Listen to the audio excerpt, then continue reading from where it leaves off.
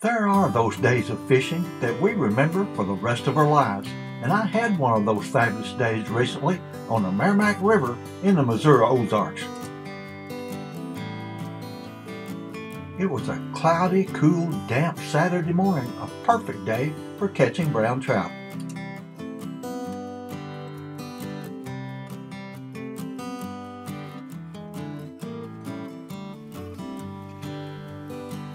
Brown trout avoid strong light, but on cloudy days they often go into feeding frenzies, and I quickly found that I could catch them on silver or gold spoons.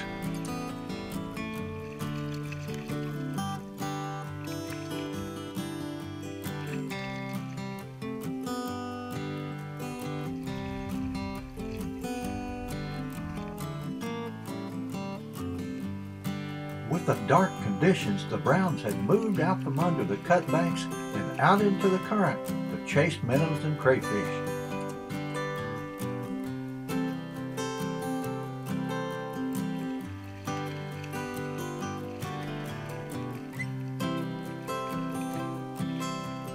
Well, you can't land them all.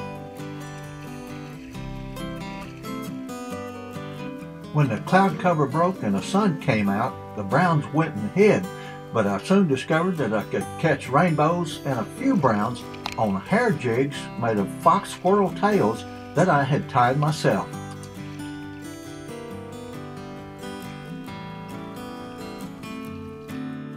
The Meramec River is chock full of trout holding habitat.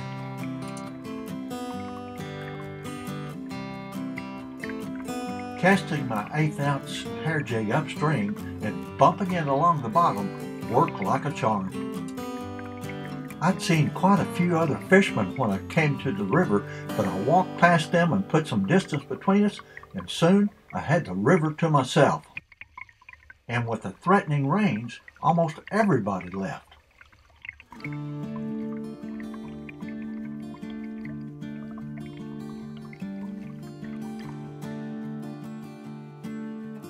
By noon, the sun had warmed things up considerably and it turned into a beautiful day on the Meramec.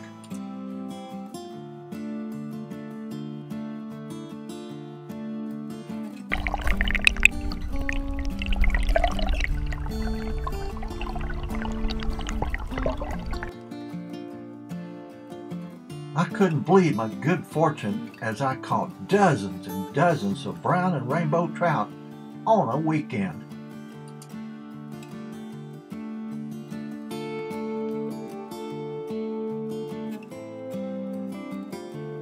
This one was a solid 17 inch rainbow that clobbered my hair jig, and boy do they feel powerful in the swift water.